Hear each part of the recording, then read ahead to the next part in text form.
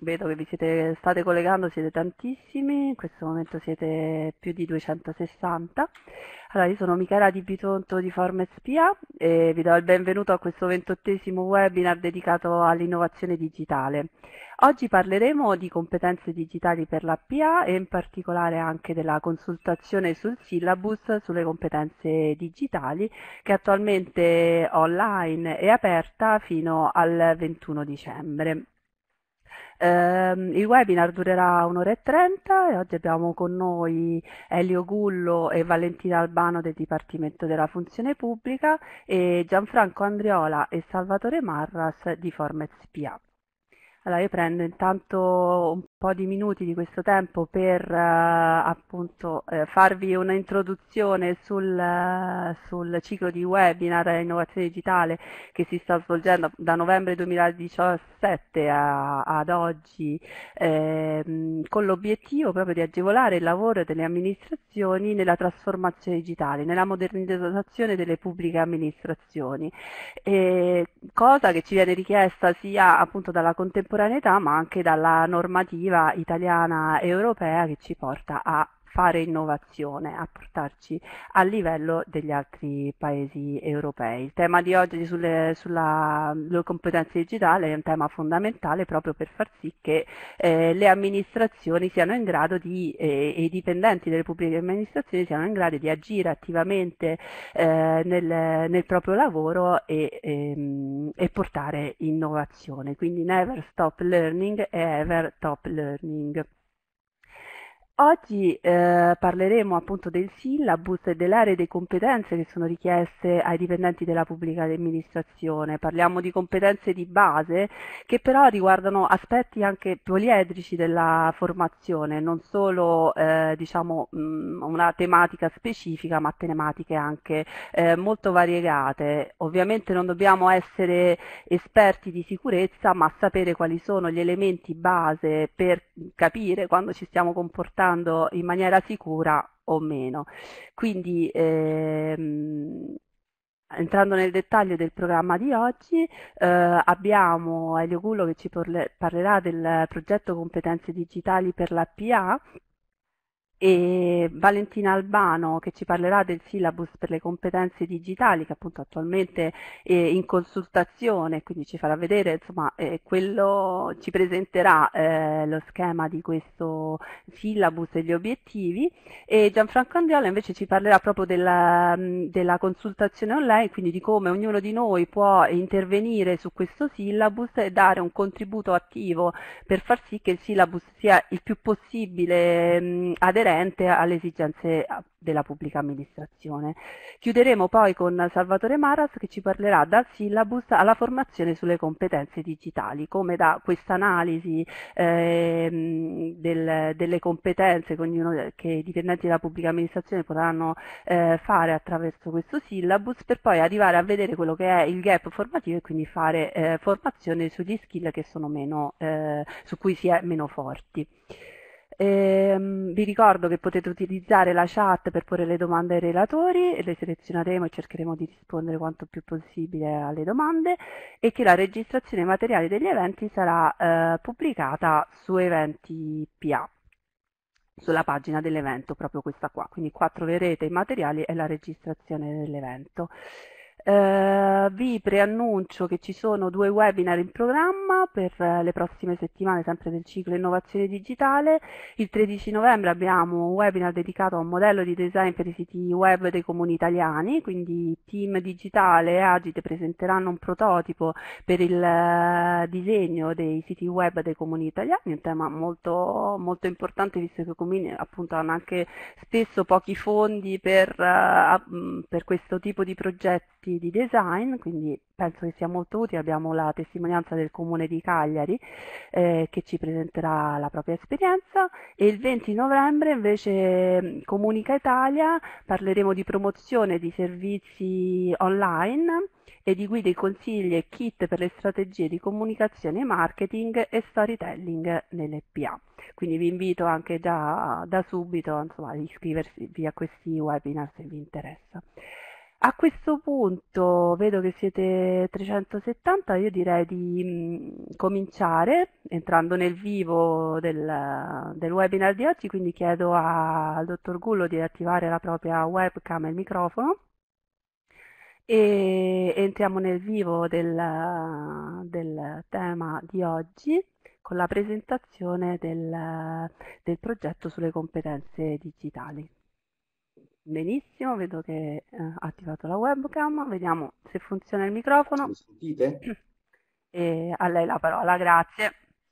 Buongiorno e grazie ai numerosi partecipanti, qua li vedo scorrere verso i 400, quindi stiamo andando molto bene, intanto vi ringrazio. Eh, ringrazio innanzitutto il Formez per eh, averci affiancato in questa attività, intanto nell'attività di rendere pubblico il syllabus in modo tale che il maggior numero di possibili eh, colleghi mi sembra giusto dire colleghi, perché da loro che mi aspetto eh, le maggiori sollecitazioni eh, e possibili richieste di modifica. E,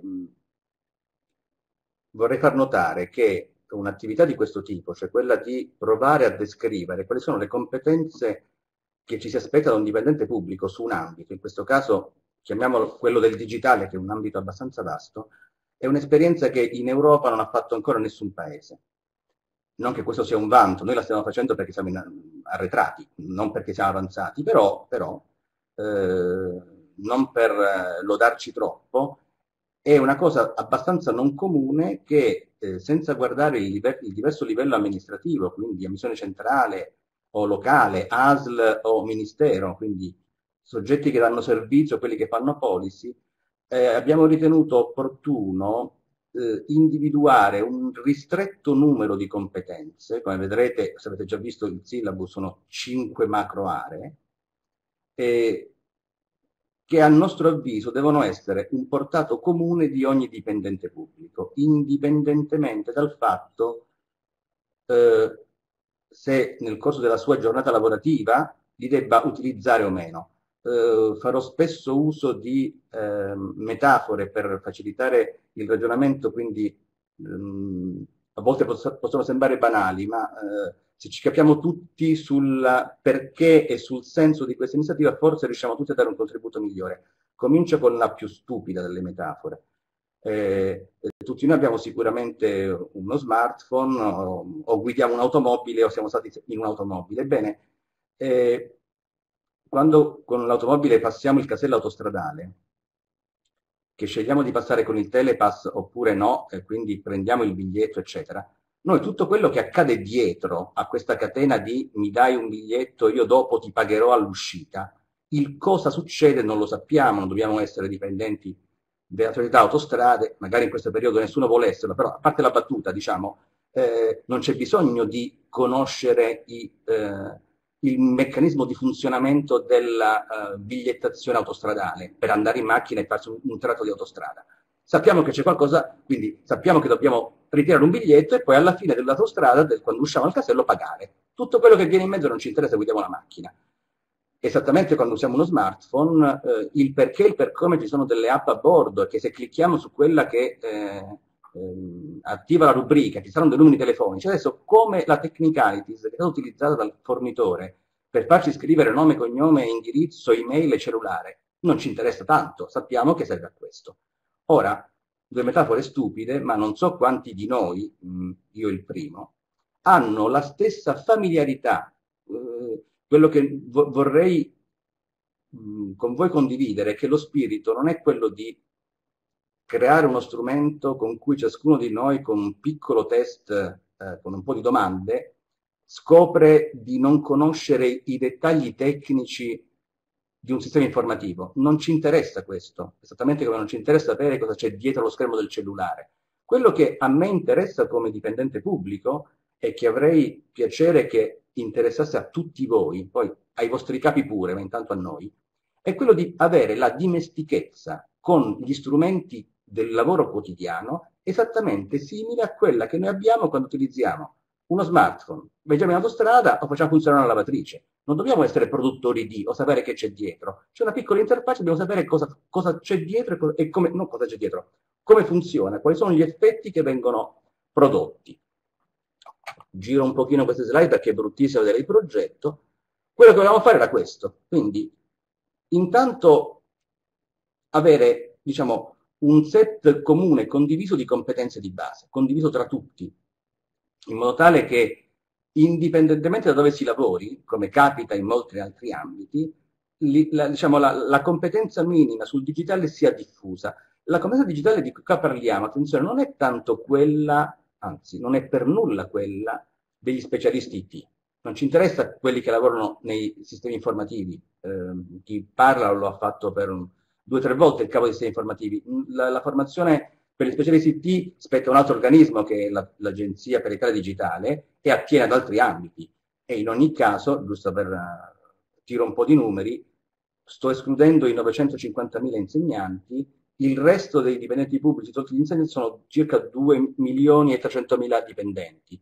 Gli esperti IT o quelli che lavorano nel eh, sistema informativo di amministrazione sono 30.000, quindi ne rimangono 2 milioni e 200.000 che sono cosiddetti amministrativi o, o simili. Ecco, la, la, vera svolta sul digitale non è se gli esperti di sistemi informativi sono bravi, che chi se ne frega, spero che siano bravi, non è quello. È se siamo bravi noi, cioè se sappiamo usare perfettamente gli strumenti che ci vengono messi a disposizione dai nostri datori di lavoro e che sono anche, tra l'altro, indicati in alcune norme. Quindi non soltanto ci viene chiesto dal nostro datore di lavoro, ma ce lo chiede il pubblico all'esterno. Faccio alcuni esempi sempre stupidi o banali, ma spero mi capirete.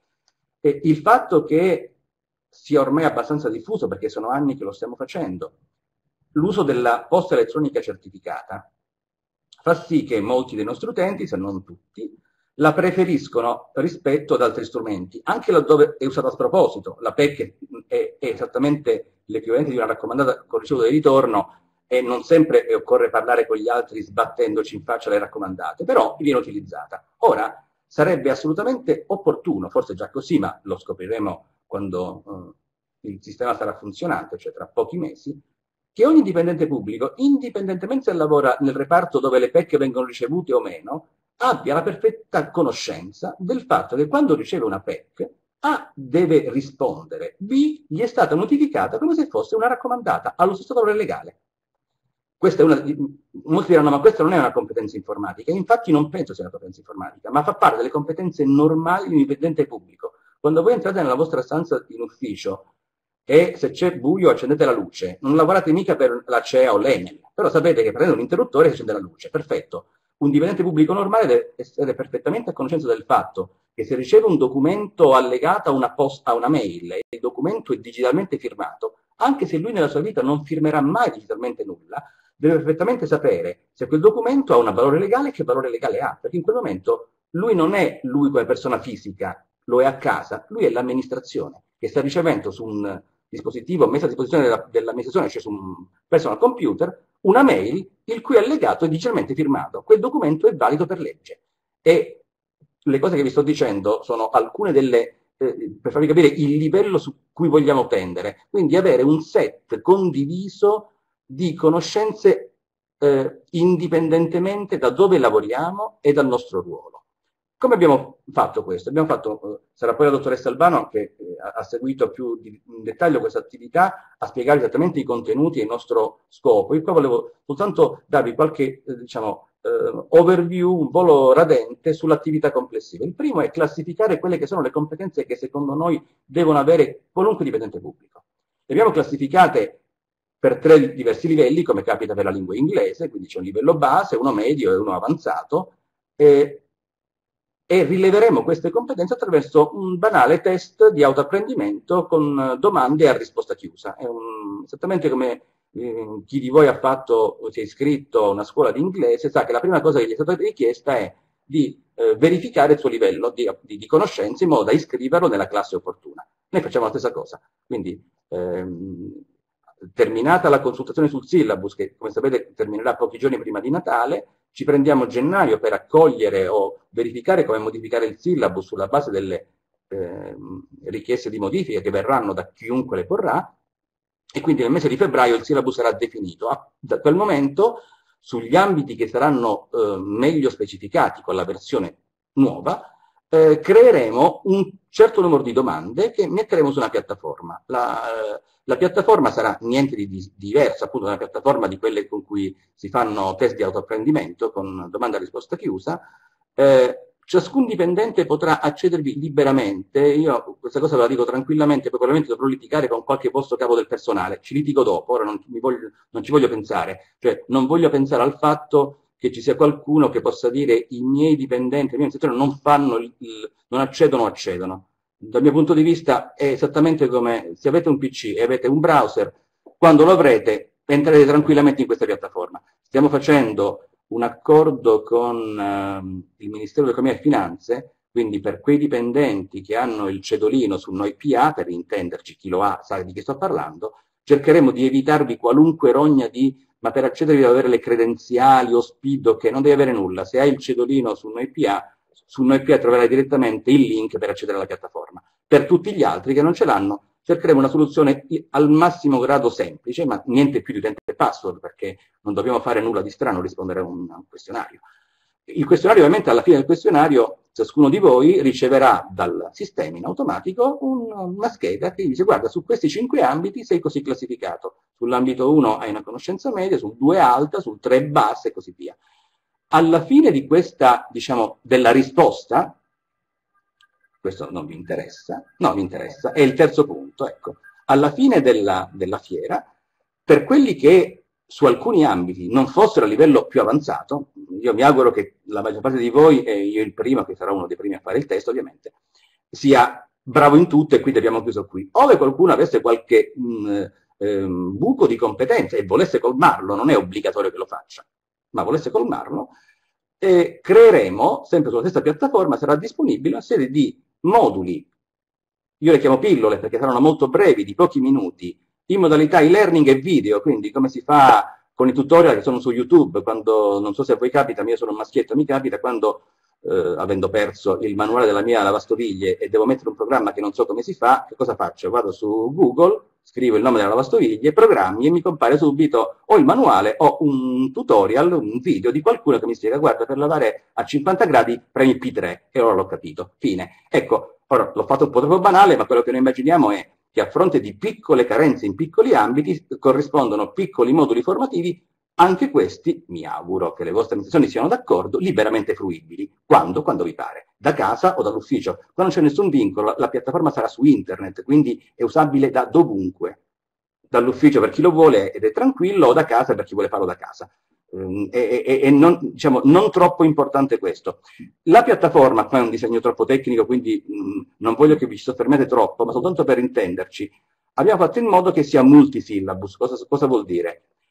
Oggi, la, eh, non so chi di voi è giocatore di PlayStation o Xbox o di queste cosucce, ma molti di voi immagino di sì, perfetto, voi avete una, una console e poi vi infilate, non so se un disco o una schedina, e a ogni eh, CD o scheda corrisponde un nuovo gioco, Perfetto. ma la console non cambia. Ecco, la piattaforma nostra è come la console. Ora infiliamo la scheda o il CD delle competenze digitali e quindi si trasforma in, in una console che vi fa, che vi fa un quiz un, dei test sulla eh, competenze e poi vi fa accedere a moduli formativi sulle competenze digitali. Ma laddove fosse inserita la scheda sulle competenze rispetto al codice degli appalti, a come si tratta il pubblico, a come si fa un intervento a cuore aperto, ecco, sto dicendo delle idiozie, ma mi state capendo, è assolutamente disponibile a chiunque, quindi voi, o meglio le vostre amministrazioni, ove volessero immaginassero che c'è un contenuto formativo che può essere utile ai propri dipendenti, ma anche perché trasversale a tutti gli altri, alcuni di quelli che ho citato sono per tutti, la può liberamente utilizzare, noi metteremo in disposizione sulla piattaforma le specifiche per poterla utilizzare a fronte di esigenze condivise, in modo che una platea più ampia dei 100-200 dipendenti del comune alfa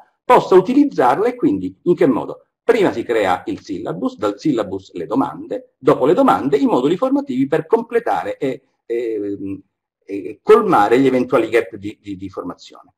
Io non direi altro, eh, anche perché sono quasi arrivato alla fine, eh, alla fine dei pochi secondi che ho ancora avrete a disposizione del, del, tempo per farmi delle domande, ma anche alla fine del webinar ci sono, quindi ce n'è già una, ma eh, se ci fossero altre le vedremo, mi tolgo gli occhiali.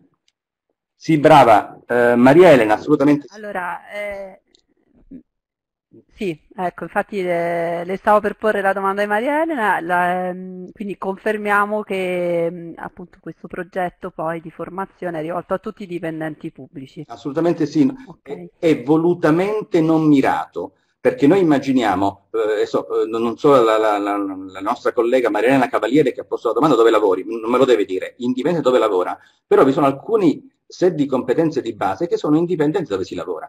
Perché? Perché le norme che regolano alcuni comportamenti elementari, comportamenti organizzativo-amministrativi intendo dire, non individuali, sono normati a livello nazionale. Quindi faccio alcuni esempi per intenderci. Il codice degli appalti vale da Bolzano a Capopassero, quindi in Sicilia e in Trentino lo applicano allo stesso modo. Il codice della missione digitale è identico, le norme anticorruzione sono identiche, quindi gran parte delle attività, tra virgolette, di supporto o di eh, servizio sono identiche. Poi se uno lavora all'Istituto Nazionale di Previdenza Sociale farà dei servizi particolari, però pur facendo servizi particolari nei confronti della propria utenza, dovrà comunque, se riceve un allegato di email con una firma digitale, saper capire se la firma digitale è valida o no. Eh, se scrive qualcosa su un sito, deve sapere che quel, quel, averlo scritto su un sito, perché lo dice una norma, è equivalente ad aver utilizzato una bacheca che ha valore legale, è come eh, quando sull'albo pretorio del comune sono scritte le, le, le, notizie, sono valide e vere, quindi se sto pubblicando su un sito un modulo per iscrivere a scuola, la popolazione può utilizzarlo e se la scuola dice no guarda quello sul sito è arretrato, sapete che vince quello del sito e non quello che vi danno lo sportello. Sono alcune cosucce che diremo che, di cui verificheremo le vostre competenze con il syllabus, ma che vorrei che voi conosceste, perché soltanto conoscendo perfettamente tutto il set normale di competenze di un pubblico dipendente rispetto al digitale, che in questo momento è quello che deve fare quasi tutto, che probabilmente riscuoteremo un piccolo incremento nella competenza minima necessaria per stare al passo coi tempi. Chiudo prima di rispondere a Valentina Raso della scheda. Eh, quale scheda, Valentina? Non capisco dove... Dov'è scheda? Ho detto scheda? Aspetta. Va bene, magari chiediamo di, mm, di, porre meglio la domanda. Io direi intanto la ringrazio moltissimo per il suo intervento e direi a questo punto di passare la parola a, eh, a Valentina eh, che ci presenterà il syllabus. Valentina Albano lavora al Dipartimento della Funzione Pubblica, benissimo, adesso ecco abbiamo cambiato l'etichetta.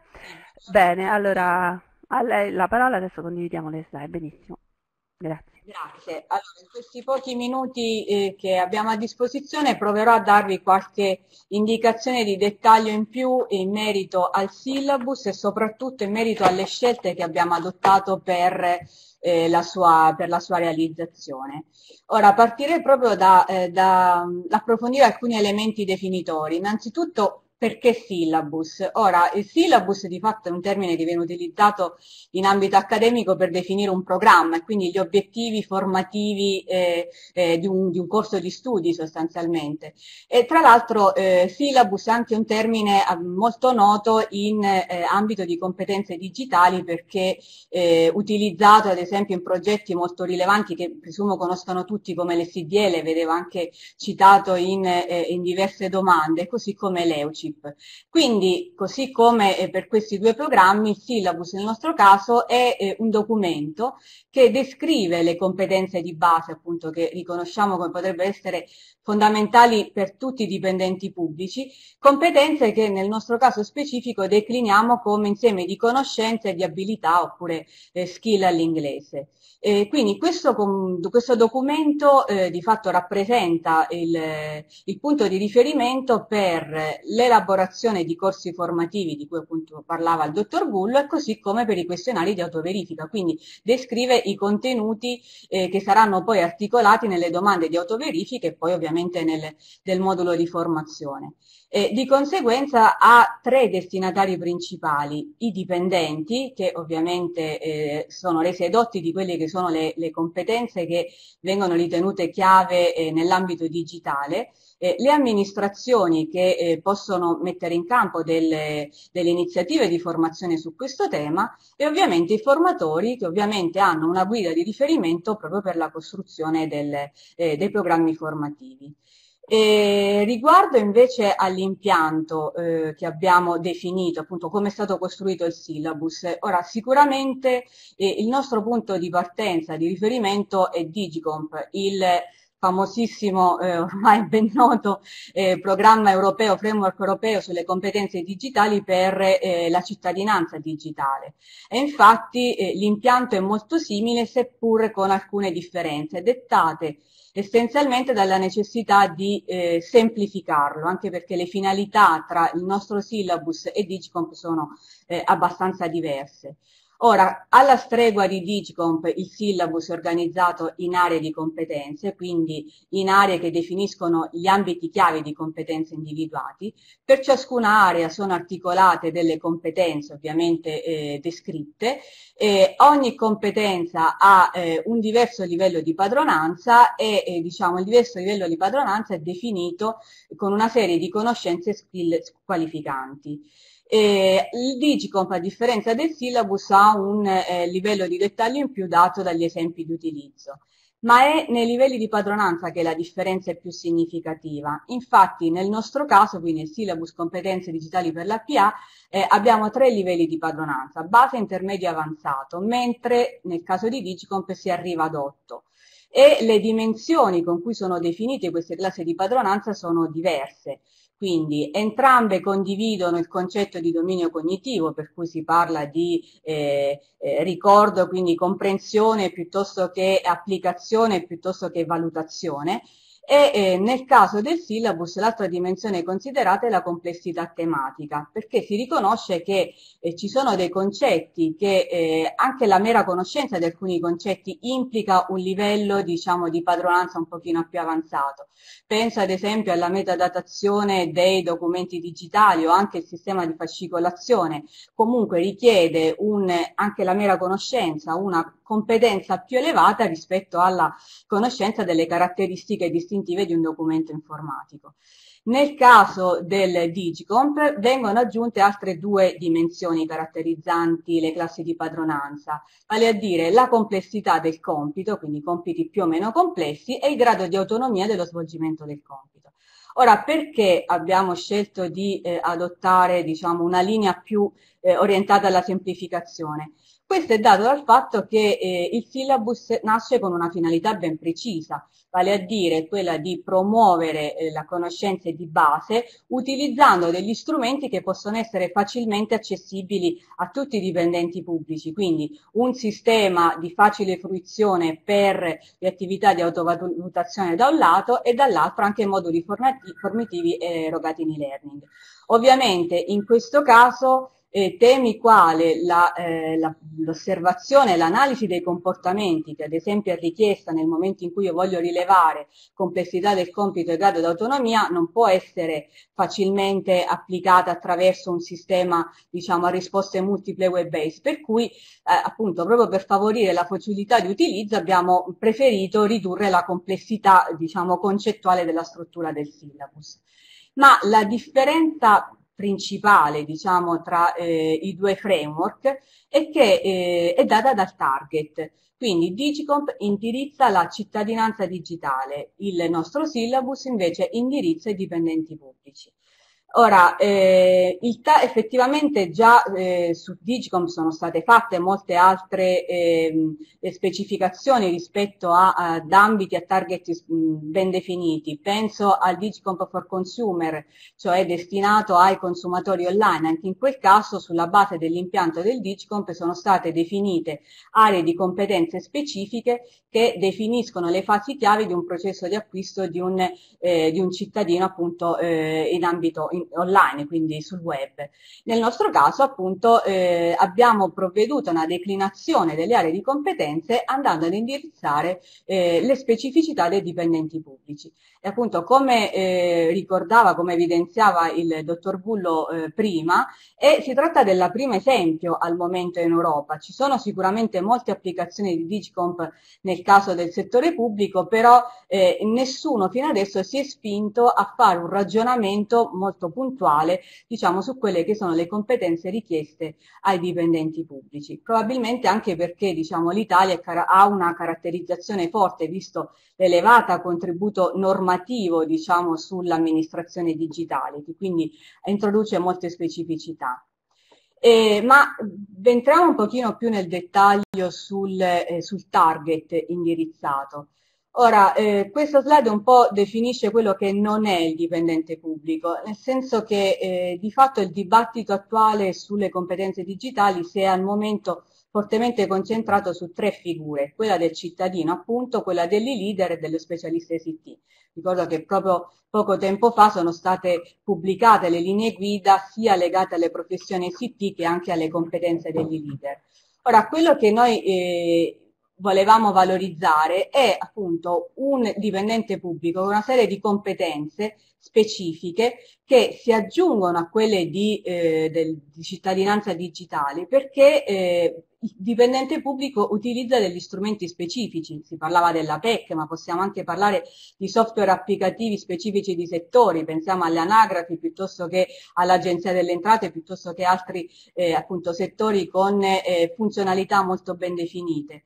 Opera sulla base di leggi, di norme eh, molto puntuali. Pensiamo a tutta la gestione documentale come altamente eh, regolata da norme e anche nell'utilizzo di eh, applicazioni o di strumenti che sono di uso quotidiano, in realtà molte volte il dipendente pubblico deve ricordare la, eh, che riveste un ruolo diverso, quindi pensiamo all'identità digitale che eh, ovviamente è diversa l'identità digitale de della persona come cittadino piuttosto che persona come rappresentante di, un'istituzione pubblica. Quindi questo può comportare rischi e opportunità che devono essere opportunamente prese in considerazione. E si differenzia dagli leader perché di fatto l'e leader è una figura professionale che guida il cambiamento. Noi eh, con il nostro syllabus abbiamo invece eh, cercato di indirizzare i cosiddetti follower, cioè quelle eh, le persone che di fatto devono seguire eventualmente un leader nell'adozione di un cambiamento. Quindi non è una figura che promuove il cambiamento ma che la concretizza, che la mette in atto. Eh, ovviamente eh, anche con l'idea che soltanto nel momento in cui si crea un ambiente culturale favorevole al cambiamento, questa può essere una condizione abilitante per la creazione degli leader. È necessario che ci sia una, un, un linguaggio comune per fare in modo che le idee creative di qualcuno, che sia un dirigente ma anche una semplice, diciamo, un funzionario che ha delle idee creative, possano essere effettivamente proposte e abbiano, diciamo, un, un contesto positivo per il loro sviluppo. E ovviamente si differenzia dallo specialista IT come appunto eh, evidenziava il dottor Bullo, non è detto che per utilizzare uno smartphone bisogna essere un ingegnere informatico e quindi ci sono tanti eh, strumenti e applicazioni che devono essere utilizzati diciamo senza necessità di avere delle competenze molto specifiche. E, ehm,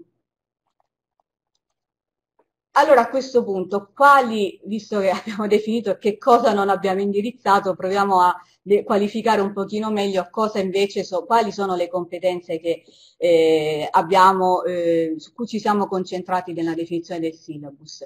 Ora, in linea generale, l'idea di fondo è quella di avere dei dipendenti pubblici che sanno muoversi agevolmente in un'amministrazione sempre più digitale, il che vuol dire saper utilizzare tutto il ventaglio di strumenti che sono messi a disposizione, specifici o comunque declinati in maniera specifica nel contesto pubblico, saper tutelare i diritti di cittadinanza digitale, per cui mi, mi attendo che, eh, diciamo, ad esempio, eh, tutti i dipendenti pubblici conoscano quali sono le modalità di trasmissione di un'istanza, per cui se un cittadino trasmette un'istanza che è una scansione diciamo, di un documento firmato con allegato la, la, la carta d'identità non viene anche richiesto di, di trasmettere l'originale, come purtroppo accade in moltissime situazioni.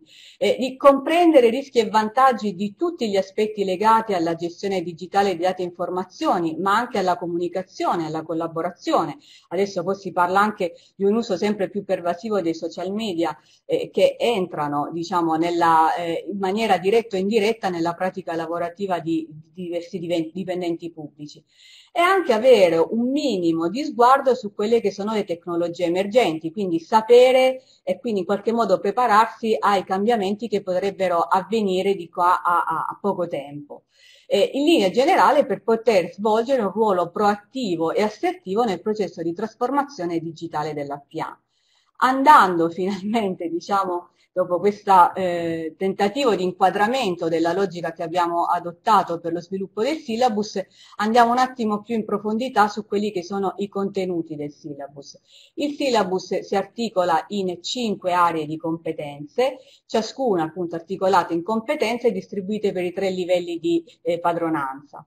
Le aree di competenza sono eh, tutto ciò che attiene a dati, informazioni e documenti informatici, per cui ci si attende che un dipendente pubblico sia in grado di conoscere il valore di dati, di saperli gestire, di saper ricercare informazioni, magari anche utilizzando degli strumenti che sono specifici o comunque mirati a quelli che sono gli aspetti e le problematiche eh, dei dipendenti pubblici, quindi penso anche a banche dati che, so, banche dati che sono destinate ai dipendenti pubblici. Poi il dipendente deve conoscere le regole legate alla produzione, alla gestione dei documenti informatici, nonché alla loro conservazione, ma anche deve essere in grado di valutare la bontà di un documento informatico. Così come deve avere cognizione del concetto di open data e eh, di open data by default. E, e, passando invece alla comunicazione e condivisione, abbiamo un po' individuato due ambiti. Da un lato ci sono una serie di competenze che attengono alla comunicazione e condivisione intraorganizzativa, quindi all'interno della propria istituzione, quindi alla base di quello che è il lavoro collaborativo che viene svolto negli uffici. E accanto a questo c'è tutto il mondo della comunicazione con i principali stakeholder delle, de, dei dipendenti pubblici, vale a dire in primis i cittadini e le imprese, ma anche le altre amministrazioni. Quindi ci si attende una cognizione del concetto di eh, cittadinanza digitale, di, di, scusate, di domicilio digitale, di eh, utilizzo appropriato della PEC, come si diceva anche prima. Eh, un tema molto eh, sentito e che giustifica anche l'attenzione che abbiamo dedicato al syllabus è quello della sicurezza. Infatti molte eh, indagini rilevano come sia un tema su cui la sensibilità delle pubbliche amministrazioni è molto spiccata e in particolare abbiamo individuato due ambiti di competenze, cioè la protezione dei dispositivi e la protezione dei dati personali e la privacy, che ovviamente eh, di recente con il famoso GDPR ha eh, ottenuto anche, diciamo, eh, ci sono stati degli interventi eh, innovativi particolarmente rilevanti. Eh, la quarta area è quella relativa al eh, servizio online, e quindi eh, relativa alla, eh, necessità dell'amministrazione di assicurare l'accesso a servizi online da parte di tutti i cittadini e questo vuol dire appunto oltre a eh, avere cognizione dei servizi online conoscere anche quelle che sono le principali piattaforme abilitanti che supportano l'erogazione in maniera diciamo omogenea di questi servizi. Quindi penso all'identità digitale e quindi al sistema SPID penso al sistema PagoPA oppure alla fatturazione elettronica elettronica, ma anche la necessità di riconoscere principi come lo one solly, cioè quindi i, i documenti eh, vengono acquisiti, devono essere acquisiti dall'amministrazione soltanto una volta, oppure il digital first o il mobile first. L'ultima area è quella invece della trasformazione digitale. Quindi eh, non soltanto diciamo, un dipendente pubblico deve conoscere e utilizzare in maniera appropriata gli strumenti che ha a disposizione, ma sarebbe opportuno che avesse anche cognizione di, del perché lo sta facendo e quindi di qual è il, eh, diciamo, l'intervento più a livello macro nel quale diciamo, la sua azione si sta inserendo. Quindi eh, sarebbe opportuno che avesse delle conoscenze eh, in merito non solo agli aspetti di governance del digitale in Italia, ma anche a quelle che sono le principali policy, i principali orientamenti appunto sul tema dell'amministrazione digitale, oltre alla eh, conoscenza appunto di quelle che sono le tecnologie emergenti, pensiamo agli OT, pensiamo all'intelligenza artificiale, di cui an- al momento ancora si parla, diciamo, non, eh, le applicazioni nell'ambito pubblico non sono molte, però diciamo, non, non dovremo sicuramente attendere tanto diciamo, per avere questo, questo tipo di, eh, di, di, di, innovazione quindi la, eh, che impatteranno sulla, sull'operatività di molti anche dipendenti pubblici. Eh, in linea generale eh, volevo aggiungere un aspetto. Eh, lo sforzo che abbiamo provato a fare era quello di rimanere piuttosto neutri dal punto di vista tecnologico, nel senso che eh, non si fa riferimento a tecnologie specifiche, ma appunto al concetto che c'è dietro, quindi penso ad esempio agli aspetti di comunicazione e condivisione, non, eh, non ci siamo focalizzati su alcuni strumenti, proprio per cercare di assicurare una maggiore vita, longevità diciamo al syllabus, in modo tale da potersi facilmente adattare alle eventuali evoluzioni tecnologiche che sicuramente si verificheranno nei prossimi tempi. E anche diciamo proprio nella consapevolezza che eh, potrebbero esserci, del, sicuramente ci saranno delle variazioni, visto che parliamo di, di digitale, eh, il syllabus nasce per essere dinamico. Ora, sicuramente in questa prima fase sono definite tre step importanti, quindi è stato rilasciato il primo draft appunto ad ottobre che adesso è in consultazione, vi ricordo, fino al 21 dicembre e eh, diciamo nel mese di febbraio pubblicheremo la prima versione di questo syllabus, ma il syllabus appunto non verrà poi eh, eh una volta pubblicato non rimarrà statico, ma sarà soggetto ad una forma di manutenzione continua, proprio per assicurare da un lato la, eh, la, capacità di rispondere sempre di più diciamo, alle esigenze e quindi alle competenze, eh, di, di, allinearsi alle competenze richieste ai dipendenti pubblici e al contempo per adattarsi a quelle che sono le, le evoluzioni tecnologiche. Eh, io vi ringrazio, vedo eh, una serie di, eh, di, domande. Allora rispondo Grazie, subito Valentina. perché la prima che vedo a Patrizia sì. Eh, quindi il syllabus si pone un gradino sopra le aree di competenza di Digicomp 2.1. Eh, tendenzialmente sì, ora di sopra al lato diciamo è un po' difficile definirlo, però eh, sicuramente l'idea è che eh, diciamo, eh, il dipendente pubblico è in primis un cittadino e quindi a, eh, a lui sono richieste delle competenze da cittadino digitale, ma che può sviluppare in qualunque tipo di contesto. Penso ad esempio a tutto il lavoro che è stato fatto sulle CDL anche a livello scolastico. E eh, le competenze, diciamo, de definite dal syllabus sono invece una declinazione specifica quel di più che viene richiesto al cittadino nel momento in cui assume anche il ruolo di dipendente pubblico. Ok, grazie. Ti riassumo la domanda di Claudia Onnis, chiede se ci sono poi anche affondi specifici eh, formativi su dipendenti pubblici, ad esempio, che si occupano di comunicazione digitale. Allora, al momento no, cioè, diciamo, eh, l'idea era un po' anche quella di eh, fare un ragionamento modulare, nel senso, noi al momento ci siamo concentrati su quelle che sono le competenze di base, è una base appunto di riferimento eh, che poi può essere tranquillamente sviluppata diciamo su eh, settori specifici oppure su aspetti di tipo specifico. E, e, diciamo, il nostro sforzo è stato proprio quello di definire un confine sufficientemente stretto in modo tale da proporre diciamo, eh, un impianto e creare diciamo, i presupposti per costruire diciamo, tutte quelle che sono le specificità che eh, condividono questa base ma che poi hanno delle loro eh, caratterizzazioni. Anche un po' quello che dicevo all'inizio, il, il, syllabus è molto semplice ma questo non vuol dire che può essere complicato diciamo, a piacere, nel senso che possono esserci aggiunti diciamo, dei moduli, dei componenti che eh, eh lo rendono eh, appunto sia più utilizzabile magari per forme di assessment più complesse oppure per forme di formazione più complesse o anche per eh, diciamo, le specificazioni settoriali. Ok, poi eh, c'era una domanda che era riferita all'intervento del dottor Gullo eh, che chiedeva di specificare meglio il meccanismo di uso del test di autoverifica che era stato brevemente illustrato. Sì, sì, sì. ecco, ero qua accanto. Allora, ehm, abbiamo creato una piattaforma sulla quale saranno disponibili un certo numero di domande, se non ricordo quante sono le domande per ciascuno, te lo ricordi? No. Il, eh, no, ancora è variabile. Vabbè, è variabile.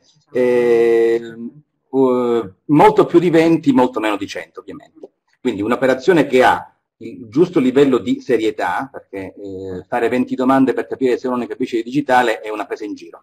Ne volevamo rubarvi troppo tempo. Quindi il sistema si baserà su un certo numero di domande, x domande per ciascun ambito, con diversi livelli di ehm, difficoltà, eh, da quelle base a quelle intermedie a quelle avanzate, perché appunto deve cercare di capire, come fa un qualunque test eh, a risposta multipla per la lingua inglese o altre cose che trovate su internet in maniera gratuita, eh, ehm, l'obiettivo è quello di capire qual è il livello di incompetenza raggiunto. Da quel momento in poi su quella materia si, si reputa non competente quindi serve per capire qual è il gap da colmare.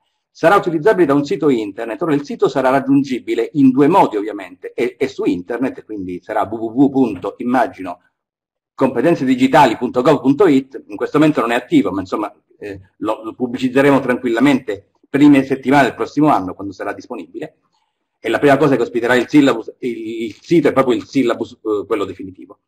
Eh, per poter eh, fare il test occorre ovviamente accedere con delle credenziali, perché naturalmente se si eh, collega Elio Gullo mm, deve, avere, deve essere sicuro che lui che si collega con le sue credenziali e non qualcun altro al suo posto. Eh, per poter distribuire al meglio le credenziali abbiamo previsto due meccanismi. Uno molto simile a quello che si usa nei normali sistemi di social network o altrove, quindi una modalità di autenticazione abbastanza soft. Eh, viceversa, per tutti i dipendenti che già oggi mi riferisco sicuramente ai ministeriali, ma ce ne sono molti altri, che in questo momento possono consultare il loro cedolino sulla piattaforma NoiPA del Ministero Economia e Finanze e che quindi hanno già la password per accedere a guardate il cedolino. Eh, stiamo facendo un accordo che speriamo di concludere in tempo, in modo tale che per costoro la password che usano su NoiPA è la stessa che useranno sulla nostra piattaforma, cioè è, è un modo per facilitare l'accesso, ma in ogni caso diciamo, non sarà più complicato di avere utenza e password.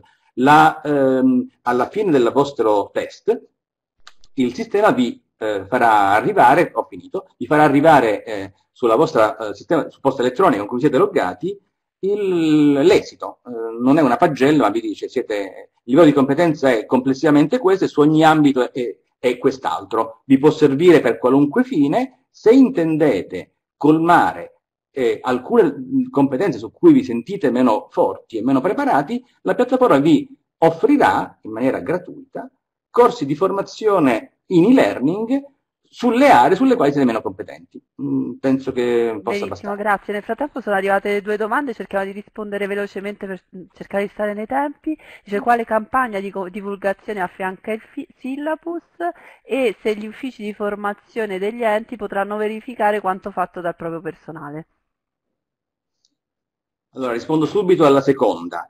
Ovviamente io ancora non ho fatto nessun incontro con il responsabile della formazione di nessun ente, ma è cosa che avremmo fatto a valle del syllabus. La, la piattaforma che abbiamo realizzato già prevede, ovviamente, che eh, sia restituita all'amministrazione, mentre è ovvio che deve restituire a ogni singolo eh, dipendente che ha finito il suo, eh, il, il, le domande e il test, il grado di autovalutazione, è anche previsto che lo stesso livello venga restituito all'amministrazione. Perché dico questo? Perché qualche amministrazione, e molti di quelli sono dall'altra parte dello schermo, sanno di, insomma, delle più avanzate, possono utilizzare il, il, diciamo, la piattaforma soltanto per capire, vediamo i miei dipendenti a che livello sono, poi la formazione per colmare le competenze la farò in modalità tradizionale o con i miei normali sistemi. Assolutamente legittimo ed è una buonissima cosa, perché qualunque sistema di formazione normale prima deve partire dall'autovalutazione delle competenze previste e poi al colmare quelle mancanti. È inutile far partecipare a un corso di formazione sulla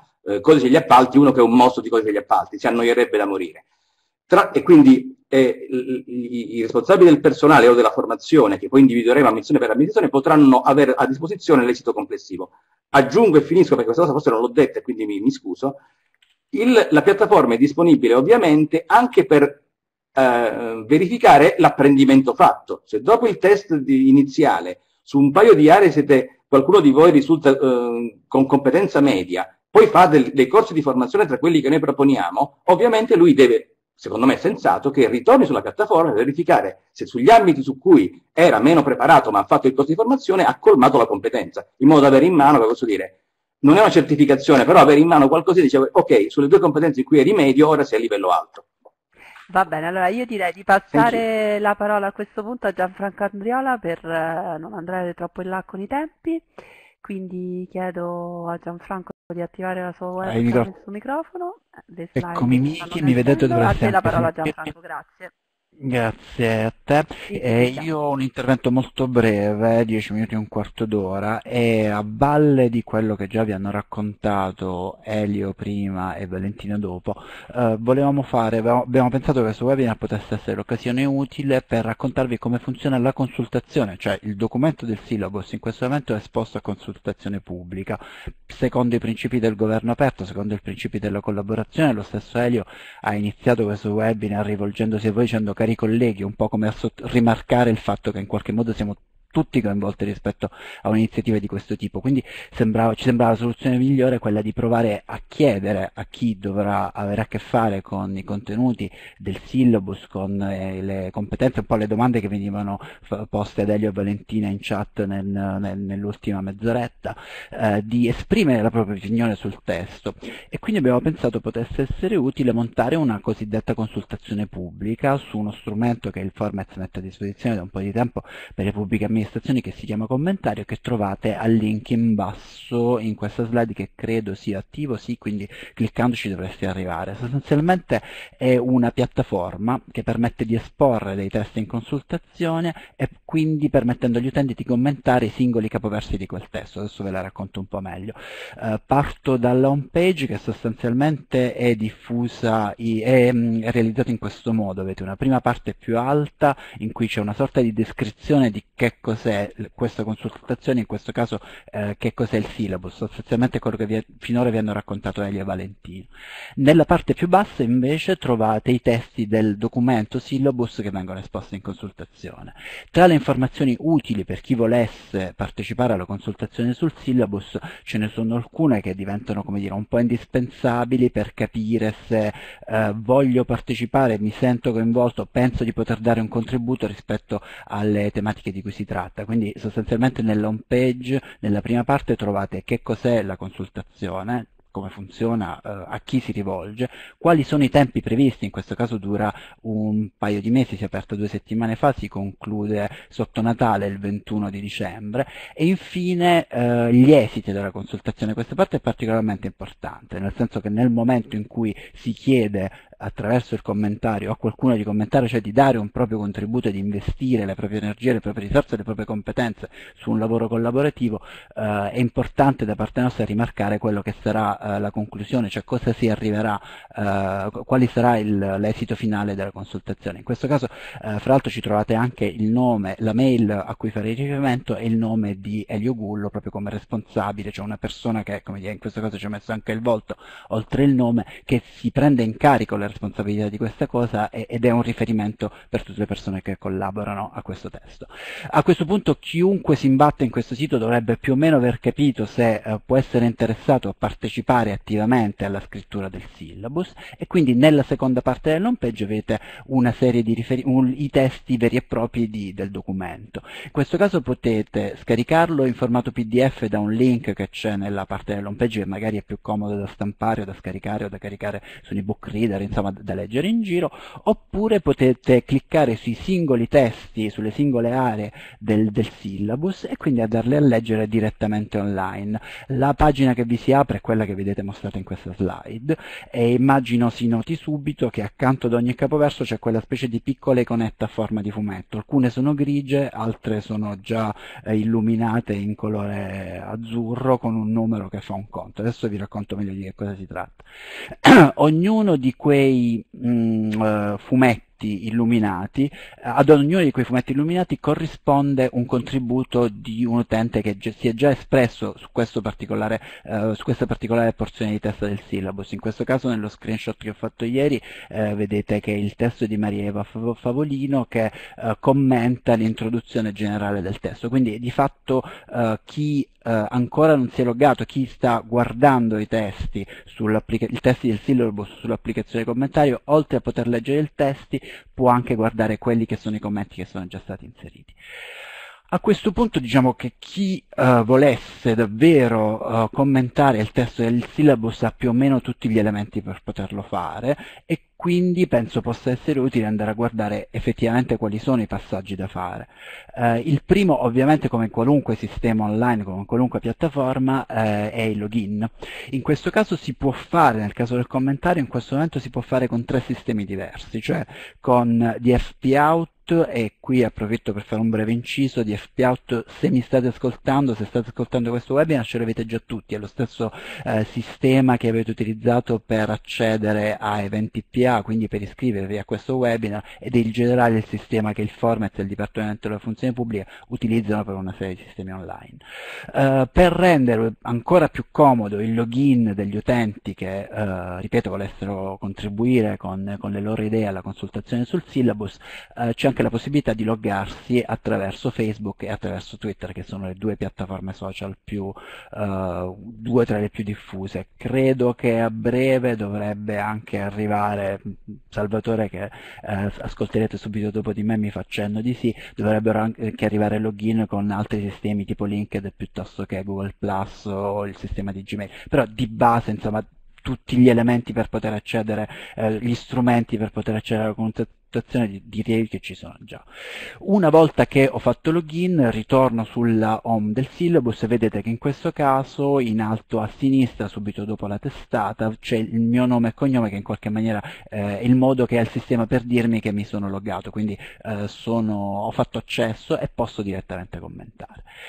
Um, il commento avviene, come vi accennavo prima, sulle singole porzioni di testo, quindi a valle di una lettura generale del documento individuo quelli che sono eh, gli aspetti che possono interessarmi di più, o meglio, su cui eh, il mio contributo può avere una maggiore valenza, in cui, su cui tengo di più a contribuire, su cui eh, ho maggiore esperienza, magari maturata durante il mio lavoro, nell'ambito dell'ente in cui lavoro, e, e, quindi inserisco un commento. Questi sono i commenti, sono mostrati, eh, questo è il commento inserito da Ciro Spataro più o meno all'inizio della consultazione, Monica eh, chiosava il commento di Ciro, Ciro a sua volta rispondeva al commento di Monica. Quindi ci, ci possono come dire, attivare delle piccole, dei piccoli dialoghi, dei piccoli momenti di scambio attraverso i commenti. Um, è importante sottolineare, a mio avviso, che si, cioè, il commento non è l'unico modo per partecipare alla consultazione. Come vedete in alto accanto al singolo nome dei partecipanti, cioè della persona che ha inserito i commenti, ci sono una serie di iconette. Uh, la prima, una di queste è il cuoricino, il classico like stile Facebook. Uh, faccio un esempio. Nel momento in cui mi dovessi rendere conto che sulla porzione di testo che volevo commentare. C'è un commento di qualcun altro già inserito che più o meno riassume le cose che volevo dire io, più, più o meno uh, sintetizza quello che io ho in testa di scrivere, piuttosto che inserire un ulteriore commento, eh, lasciatemi dire, piuttosto che rendere la consultazione ancora più rumorosa con ulteriori commenti, potrei decidere di votare il suo commento. E a quel punto faccio galleggiare più in alto quell'idea, eh, do a chi dovrà eh, sintetizzare a valle della consultazione in un documento di sintesi tutti i contributi arrivati, maggiori elementi per capire che quell'idea effettivamente può essere utile rispetto al mio modo di vedere eh, questa consultazione. Um, posso uh, linkare questo contributo, posso linkare il contributo che ha inserito qualcun altro e il contributo che ho inserito io per riproporlo da qualche altra parte. Anche qui faccio un esempio, se ad, commento una porzione di testo e poi voglio promuovere il mio commento su Twitter, posso prendere questo link, metterlo metterlo su Twitter e condividere con tutti i miei contatti su Twitter o su Facebook, insomma su qualunque piattaforma social, eh, condividere con tutti i miei contatti il mio contributo e magari chiedere a qualcun altro di votarlo, magari chiedere a qualcun altro di, di, a sua volta di contribuire, di collaborare sul syllabus rispetto all'idea che ho evidenziato. e infine, altro modo per collaborare, per partecipare, che è una cosa che ci dà una gran mano nel momento in cui dovesse succedere, posso segnalare il commento come inappropriato. In questo caso, come dire, è un modo collaborativo lasciatemelo dire, quasi crowdsourcing per gestire al meglio i eventuali commenti inopportuni che possono arrivare sul, sulla consultazione. E il commento è contestuale, questa cosa ci tengo a dirvela fin da subito, nel momento in cui scrivete un commento e schiacciate invio, eh, vi ritrovate il commento direttamente pubblico. Il limite di caratteri è 600, quindi un paio di tweet, come dire, e, e, ci sembrava un numero di caratteri sufficiente per sintetizzare un'idea. Um, come dire, vi racconto anche quello che succede nel back office, cioè nel momento in cui un utente commenta, a me, a Valentina che ha parlato prima di me e altri colleghi del Formez arriva una notifica in maniera tale che possiamo leggere quello che è stato inserito, sempre come dire, misura di prevenzione di eventuali commenti inopportuni. Uh, su questo ci tengo anche a dirvi che uh, saremo forse alla ventesima consultazione fatta sul commentario e a me è successo giusto un paio di volte di bloccare commenti di utenti, quindi è una cosa che, che normalmente non avviene quasi mai. Eh, questo è quello che avviene, eh, quindi questo è quello che un utente può fare per contribuire direttamente alla, ad alimentare la consultazione sul syllabus, quindi a migliorare di fatto l'attuale testo del syllabus. Una volta che ho espresso i miei commenti, oltre a seguire eh, quello che sta succedendo, posso guardare in generale come sta andando la consultazione consultazione um, utilizzando gli strumenti che l'applicazione commentario mette a disposizione di tutti gli utenti. Nella pagina statistiche, cioè arrivate sempre dalla home, da un tab in home, uh, c'è una sorta di sintesi di quello che sta succedendo. Vedete in basso in questa slide uh, in, uh, potete vedere quella sorta di timeline dei commenti che vi dà un minimo di, di temperatura di quello che sta avvenendo, di come sono distribuiti i commenti nel tempo. In alto ci sono dei cruscotti di sintesi, le statistiche generali, le parole più usate nei testi e le parole più utilizzate nei commenti. Cioè sono due modi per avere un po' idea di quelli che sono i temi emergenti che stanno emergendo nella discussione. Eh, queste statistiche sono alimentate in tempo reale, quindi così come eh, arrivano nuovi commenti questa pagina cambia, si evolve in maniera dinamica. Eh, nella pagina utenti posso avere idea di chi eh, si è connesso, chi ha commentato con quale, con quale strumento e quanti commenti ha inserito.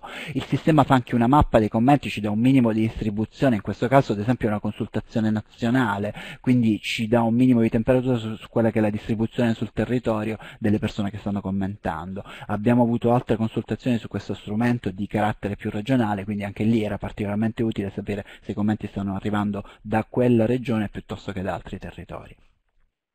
Infine, quella che probabilmente è la parte più interessante tra le applicazioni di monitoraggio e di analisi della consultazione che il commentario mette a disposizione, c'è il, mm, il, tab discorso stampabile. Qui sostanzialmente si vede lo stesso testo uh, che è sul syllabus, dove ad ogni porzione di testo, ad ogni capoverso sono associati i singoli commenti fatti dagli utenti.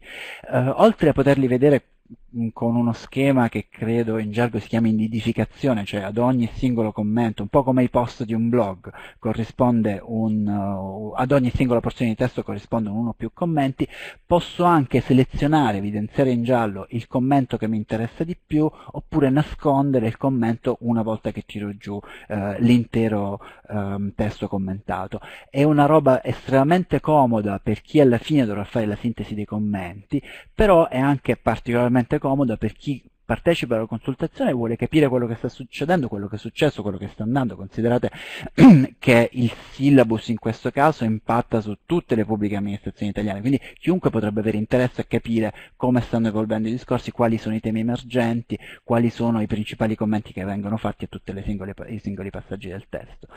Um, è importante, vi dicevo, per fare una selezione, una cernita, considerate che uh, ha fatto 800 i commenti che arriveranno su questa consultazione, certamente ce ne sarà qualcuno, più di qualcuno, poco interessanti ai fini della rielaborazione del testo. Ce ne saranno altri molto più interessanti. Attraverso questo sistema diventa molto facile mh, fare una sintesi, fare una cernita e riuscire a capire quello che sta succedendo. È indispensabile nel momento in cui il Dipartimento della Funzione Pubblica, in questo caso, rimetterà mano a questo testo a valle della consultazione, cioè una volta fatta l'analisi di tutti i commenti e ricostruirà il testo sulla base delle, delle, mh, de, de, delle idee che sono arrivate e le idee che sono sviluppate sviluppate dei vari discorsi che sono emersi durante questi due mesi di consultazione. Più in generale però, è la cosa che mi piace eh, rimarcare a due minuti dalla conclusione del mio intervento, è che questo sistema, cioè questa modalità eh, di mettere in consultazione in testo, che è diametralmente opposta alla classica modalità di consultazione che espongo il testo sul mio sito web, metto un indirizzo mail e chiedo a chi vuole contribuire di inviare mail eh, su quel testo che non può vedere nessun altro. In questo caso è, dire, il commentario e la modalità in cui si sceglie di commentare un testo, di partecipare alla scrittura collaborativa di un testo in generale e in particolare al testo del syllabus, è una cosa che garantisce una enorme trasparenza dell'intero processo di partecipazione, cioè gli utenti che commentano sulla consultazione possono vedere tutti i commenti degli altri e in più con gli strumenti che vi ho mostrato eh, nella fase finale, negli ultimi passaggi eh, di questo mio intervento, eh, possono addirittura avere gli stessi strumenti delle persone che poi alla fine andranno a fare sintesi di quei commenti. Quindi eh, per noi è particolarmente rilevante sottolineare soprattutto questo passaggio, cioè che non solo il testo del syllabus in questo momento è esposto a consultazione pubblica, ma è anche una modalità di consultazione pubblica estremamente trasparente, molto tarata sulla uh, collaborazione degli utenti che si rifà ai principi del governo aperto e in qualche maniera è quello che uh, dire, a noi piace di più uh, raccontare, che a noi piace di più fare nelle iniziative che portiamo avanti. Detto questo io credo di avervi raccontato più o meno tutto, non mi pare di vedere che domande nel box domande, eh, chiedo a Miki se è il caso che sì. concluda il mio intervento e passi la parola a Salvatore. Sì, possiamo dare direttamente la parola a Salvatore e poi magari alle domande che sono arrivate comunque in chat per Elio Gull e Valentina potremo farle magari alla fine, così concludiamo tutto il discorso. Quindi Salvatore a te la parola, grazie a tutti, grazie Gianfranco per il tuo intervento e per il tuo chiarimento sul syllabus. Buongiorno a tutti, spero si senta, che non ci siano problemi di audio. Ehm, io vorrei mettermi nei panni di chi fa il responsabile della formazione, quindi vorrei ragionare eh, come se fossi il responsabile della formazione di un'amministrazione su eh, come usare il syllabus e tutti gli strumenti che, che, sono, che sono, collegati. Eh, Parto da, da, un quadro che eh, è sotto gli occhi di tutti, nel senso che chi vuole occuparsi del, dello sviluppo delle competenze digitali dei dipendenti del proprio ente va a cercare quello che è, è disponibile e trova diversi documenti, soprattutto eh, messi a disposizione da Agid nel tempo, ma anche il citato eh, documento dell'Unione Europea che è il quadro delle eh, competenze per i cittadini, il Digicomp apparentemente questa cosa potrebbe mh, far pensare, beh, eh, c'è, una, c'è, anche il syllabus, è, è una cosa in più, cosa, cosa, cosa, mh, come lo inquadro nel, nell'insieme Digicomp e leadership, poi ci sono anche le competenze eh, specialistiche. Eh, ho fatto un primo uh, tentativo di, ehm, di collocare il syllabus in questo quadro, nel senso che eh, partendo proprio uh, da quello che già nel 2014 era inserito nelle linee guida sullo sviluppo delle competenze digitali, eh, c'è un tema più ampio che quello del, delle leadership. Le leadership è un po' l'idea dello sviluppo delle competenze di chi dovrebbe cambiare e innovare la pubblica amministrazione, non solo i dirigenti, non solo dire, i manager pubblici, ma anche le persone che in qualche modo dentro le amministrazioni sono portatrici di cambiamento e di innovazioni. Nel cuore questa specie di cerchietto eh, con lo zero eh, del eh, quadro delle leadership, di, questo, di questa scatola di formaggini delle leadership, c'è il Digicom, cioè ci sono quelle competenze digitali di base dei cittadini che uh, ognuno di noi come dipendente pubblico si porta da casa, quindi sono quelle conoscenze che dovrebbero costituire il, il patrimonio diciamo, uh, di base comune. Certo, poi sappiamo che non tutti i dipendenti pubblici sono cittadini eh, dire, alfabetizzati digitalmente, quindi non, non, è che dopo è scontato che tutti abbiamo questo, questo quadro di competenze. Però rispetto al syllabus, eh, quello che direi è che c'è un elemento additivo, cioè il syllabus mi dà rispetto a quel quadro di Digicomp quella specificità di competenze di base che servono per lavorare nella pubblica amministrazione. Servono a lavorare e servono a lavorare in un ambito specifico che è quello pubblico.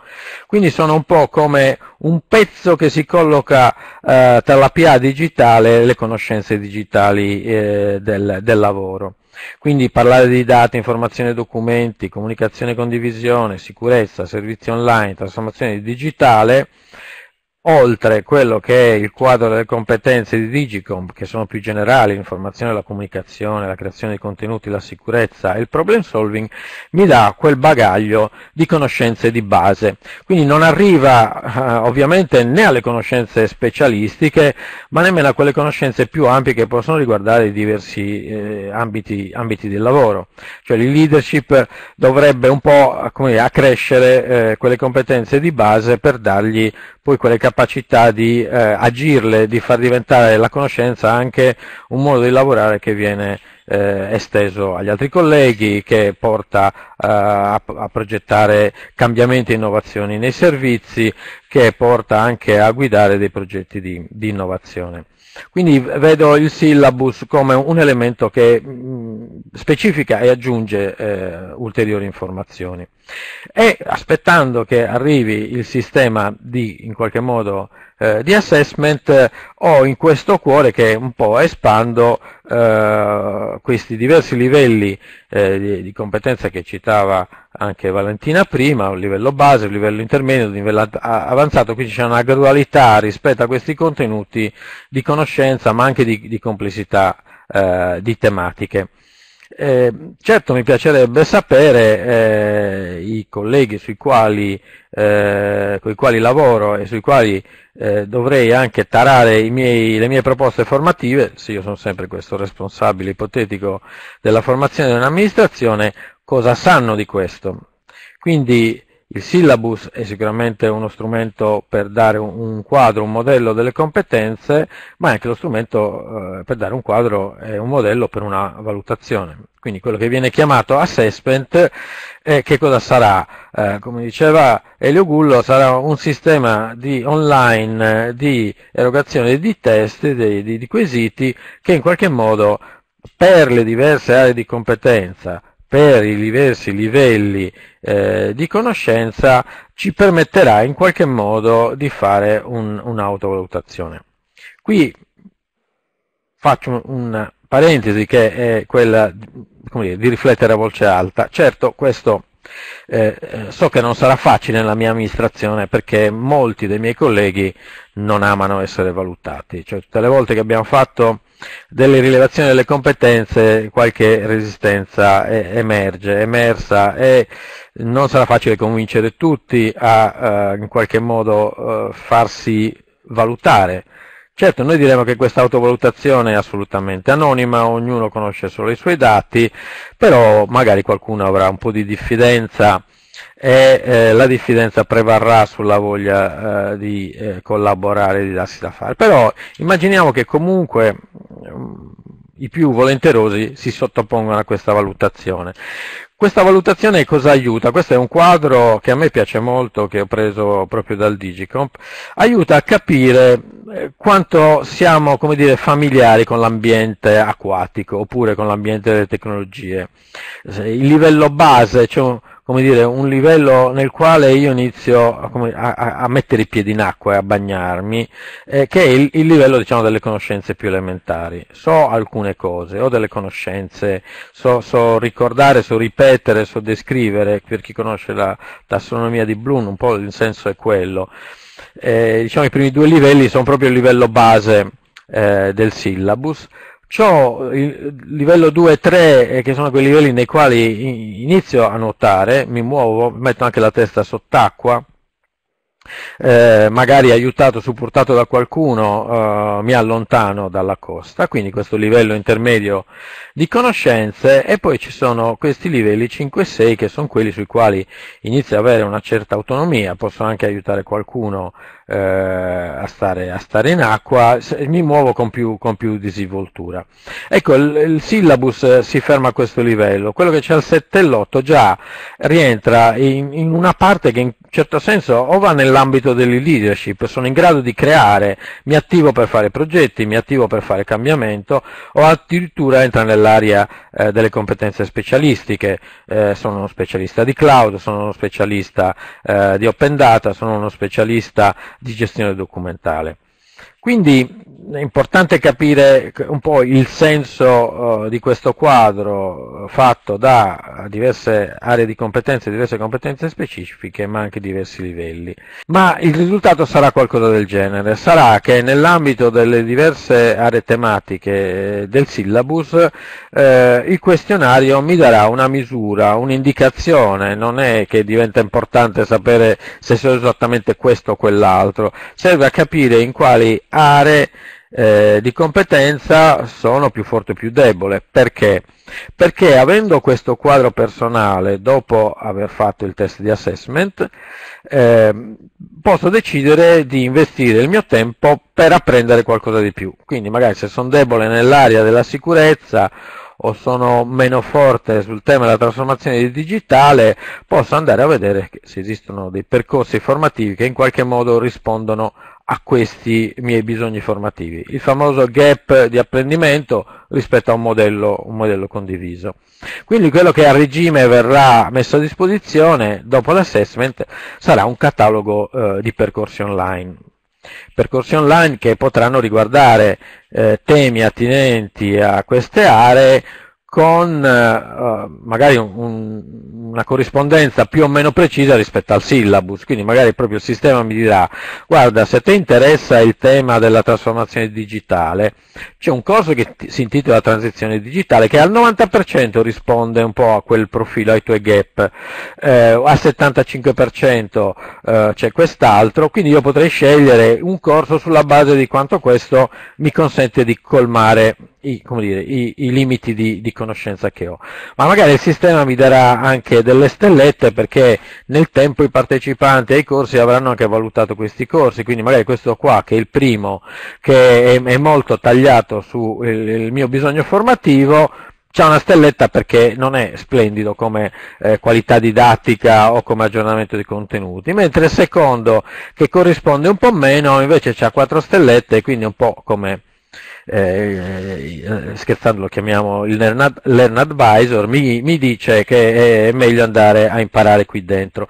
Quindi avrò un catalogo che in qualche modo mi propone rispetto all'assessment che ho fatto quali sono quei corsi online eh, più adatti. Io posso scegliere, potrò fare prima questo oppure andrò a fare prima questo. E sono però come dire, un soggetto isolato, l'ho fatto da solo. Se siamo uh, un'organizzazione e se siamo un'organizzazione che magari ha chiesto a tutti i dipendenti di fare l'assessment, che ha scelto di usare il sistema di assessment come un sistema di automisurazione del capitale di competenze, magari questo profilo non sarà relativo alla singola persona, ma sarà relativo diciamo, alla media di tutti i dipendenti. Poi magari qui dentro avrò anche altre statistiche per cui oltre al valore della competenza specifica che sta in questo pallino potrei avere anche lo scarto che mi dice quanta differenza c'è eh, tra eh, i miei colleghi rispetto a questo contenuto, se sono tutti a quel livello oppure se c'è una certa dispersione.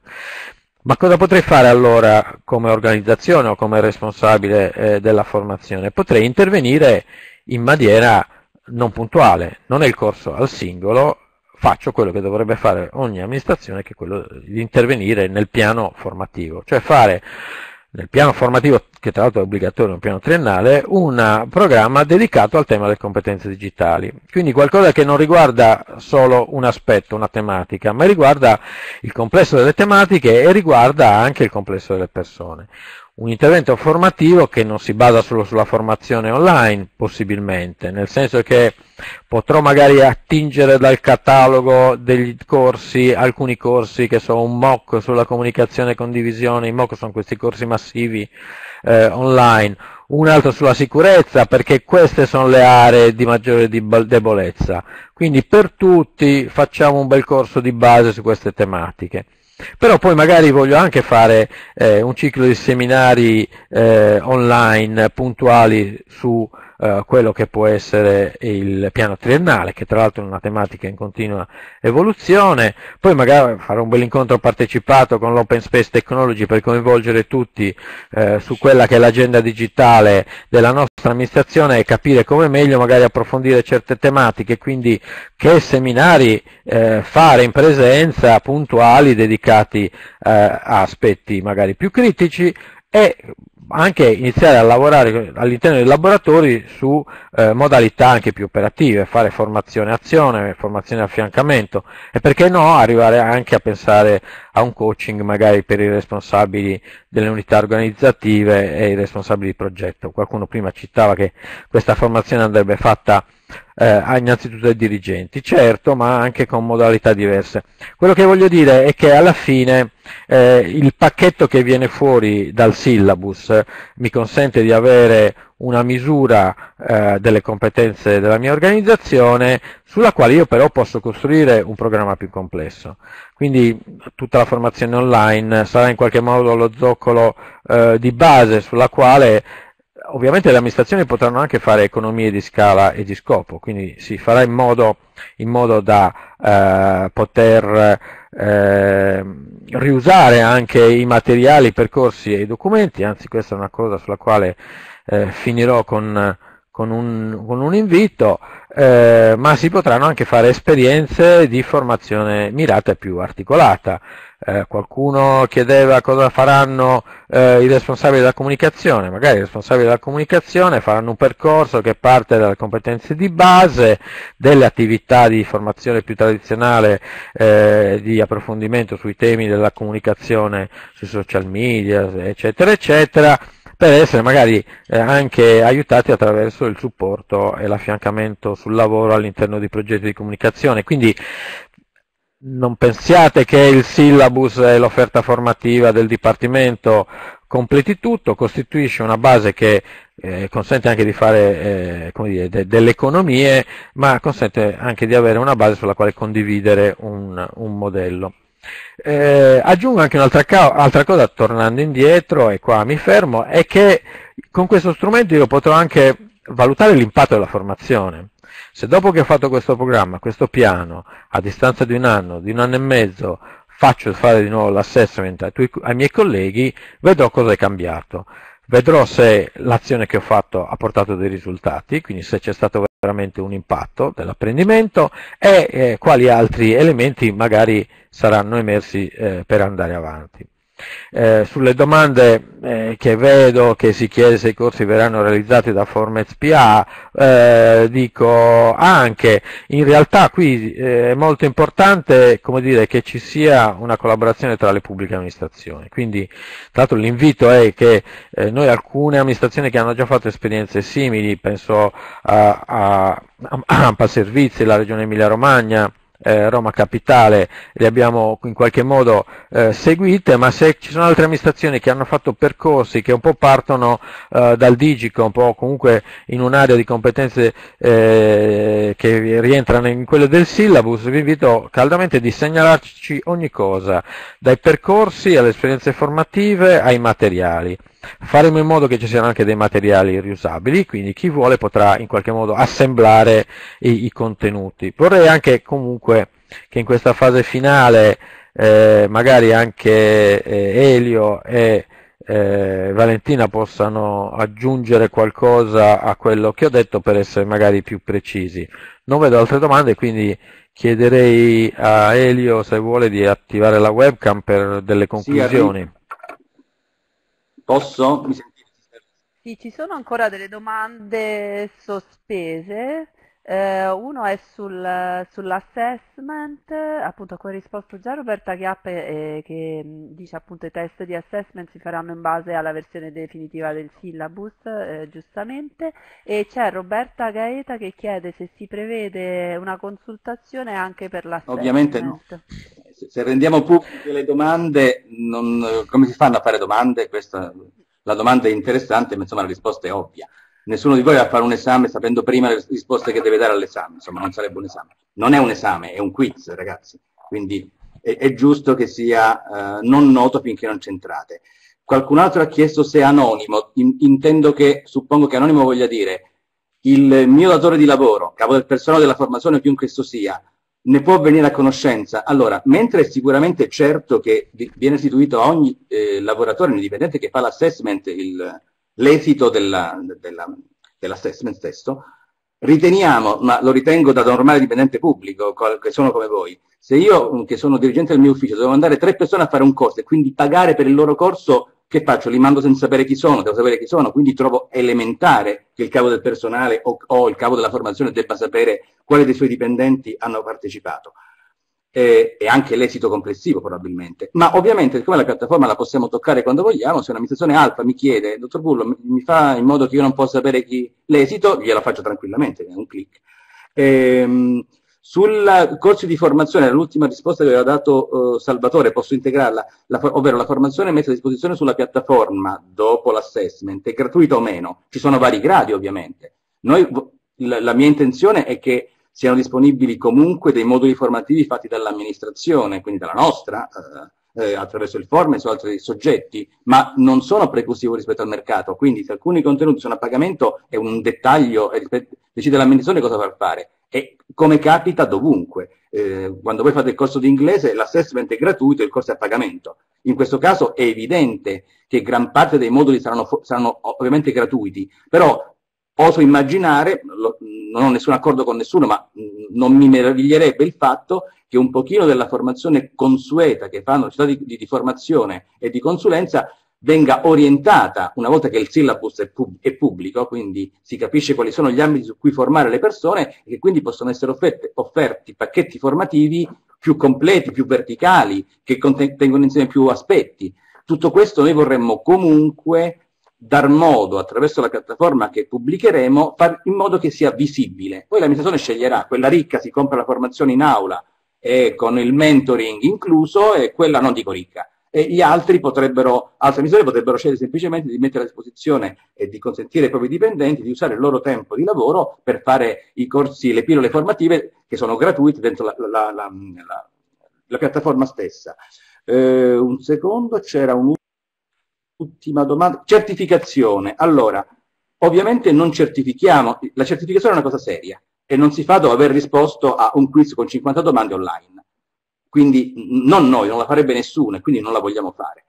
Io ritengo che sia utile per ciascuno di voi, qualcuno ha chiesto perché non obbligare le PA, non mi serve obbligare qualcuno, se una cosa intelligente viene fatta, se stupida non viene fatta, che la obblighi o non obblighi, in ogni caso io come funzione pubblica non ho nessun ritorno di nessun tipo, suppongo che sia, uno, un vantaggio per ciascuno di noi sapere, ma dov'è che effettivamente sono più carente, visto che posso formarmi e diventare meno carente in competenze. Quindi penso che sia una normale aspirazione di ciascuno di noi a mh, eh, non vedersi riconosciute, ma sapere di stare, appunto, come diceva Salvatore Maras prima, nell'ambiente, che in questo momento è sempre più digitale, nel modo più comodo possibile. Secondo, suppongo che sia un interesse dell'amministrazione fare questo. Se, eh, eh, poi po potremo dare in, successivamente degli esempi. Noi ehm, abbiamo previsto, eh, e il Forne ci aiuterà in questo e sarà un, un braccio armato molto forte, una serie di incontri con le amministrazioni, quindi responsabili del personale della formazione, ma che vogliamo attivare non appena il syllabus è definito. In questo momento eh, avremmo difficoltà a discutere di un argomento contenuto, quindi per nel 2019, perché è evidente che una forma di sensibilizzazione dei, dei, dei capi del personale o dei capi della, responsabili della formazione è assolutamente fondamentale. Anche, anche soltanto per, tra virgolette, dividersi i compiti. Posso immaginare che molte amministrazioni vogliano, eh, possano utilizzare la piattaforma il syllabus e quindi l'assessment per fare una specie di passaggio per tutti, cioè sottoporre tutto il loro personale all'assessment per capire qual è la situazione complessiva, per poi decidere diverse modalità di complementazione e completamento delle competenze. Non, non, non immaginiamo che la piattaforma esaurisca tutto. Io, giusto perché sono appunto molto scarso in inglese, io adesso faccio il corso di formazione con una persona, ma il test non l'ho fatto con questa persona che mi, ehm, ho di fronte ogni giovedì dalle due e mezza alle quattro, ma l'ho fatto su tre siti internet di tre scuole diverse per capire prima qual è il mio livello. Poi ho fatto il quiz, il quiz anche con lei. La piattaforma nostra è allo stesso modo, cerca di offrire in maniera uguale per tutti i, i dipendenti pubblici italiani un, un modo condiviso e unico per fare un test, dopodiché ciascun singolo, ciascun amministratore può scegliere quello che vuol fare. Noi offriremo anche un po' di aiuto a utilizzare i nostri moduli formativi, non, nessuno è obbligato a farli, ci auguriamo che lo facciano. Non so se c'è qualcos'altro, qualcos'altro di... Ehm... Allora, Borrelli chiede, lo dico, il dipendente che vuol fare l'assessment chiede l'autorizzazione alla propria amministrazione, la mia risposta l'ho data all'inizio, forse lei non era collegato, è no. perché l'accesso alla piattaforma è, piattaforma è su internet, quindi eh, spero che lei abbia un browser sul suo PC, quando è sul browser non deve chiedere il permesso per andare su un sito o un altro, perfetto, il nostro sito sarà come gli altri, non c'è bisogno di chiedere il permesso. Eh, è evidente però, è evidente però che ci potrebbero essere delle policy dell'amministrazione, non del mio sito, che fanno sì che su alcuni siti non si possa andare. Immagino che insomma, il nostro sito non verrà bannato, lo troverei molto diciamo, disdicevole per l'amministrazione, ma l'idea è quella che ciascun dipendente possa, quando vuole, da dovunque, fare il test, dal suo smartphone, dal suo PC di casa, dal suo PC di ufficio, quando vuole. Eh, sarà previsto anche il sistema banale di se le domande sono molte, mi sono arrivato fin qui, mi fermo e poi continuo il giorno dopo. Quindi queste sciocchezzuole non ve le devo dire. Il tempo è finito, vedo uno zero. Eh, intanto la mia chiusura è semplicemente intanto un grazie veramente enorme perché quasi ora di pranzo siete circa 600 e non mi aspettavo un pubblico così eh, elevato. Vi invito a eh, sia per voi che siete stati per un'ora e mezza qui con noi, ma anche i vostri colleghi, a chiunque fosse interessato, ad andare sulla uh, piattaforma che il Formez ha messo su per poterla consultare il syllabus, per farci pervenire qualunque suggerimento. Noi qua in questo momento siamo a caccia di suggerimenti che ci consentono di farlo di migliorare al più possibile il, il syllabus. Quindi questo è quello che vogliamo da voi a, a fine dicembre lo, lo, completiamo, eh, verrà chiusa la consultazione il 21 di dicembre, quindi c'è ancora un mese e dieci giorni da oggi, eh, il tempo è sufficiente. Per il resto vi ringrazio ancora e mi auguro di rivederci in un altro diciamo, luogo a presto. Grazie a tutti. Grazie Elio, grazie a tutti. Buona giornata, buon lavoro. Grazie anche da parte mia, grazie a voi relatori, grazie a tutti i partecipanti per uh, la, il solito eh, la solita diciamo, partecipazione che dimostrano e anche passione diciamo, su questi temi della, della formazione. Eh, ringrazio tutti, vi do appuntamento per i prossimi webinar il 13 novembre e il 20 novembre, potete già iscrivervi su Eventi PA e per oggi eh, le slide sono già online sulla pagina dell'evento e la registrazione verrà pubblicata nel pomeriggio. Grazie a tutti e buon pranzo.